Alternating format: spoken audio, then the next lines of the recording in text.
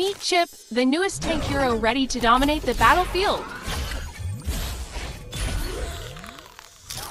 Who said there are no shortcuts in life? I literally invented one. Chip's passive ability, Snack Time, Fighting lets him regenerate work. HP by eating potato chips out of combat. It takes 5 bites to finish a bag.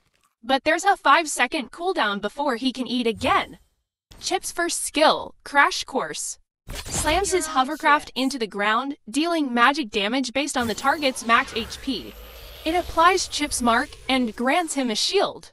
His next basic attack becomes ranged, hitting nearby enemies with the mark dealing magic damage and briefly stunning them. Chip's overtime skill lets him dash forward, gradually gaining speed until reaching 65% extra movement speed, which he maintains for 2 seconds.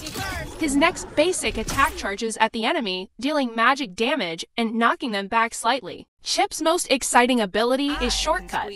A global teleportation ability, you can drop the main portal on an enemy hero, dealing magic damage and slowing them. Connecting portals are created near allied heroes and behind the allied ah, base. Would you like to give Chip a try in your next game?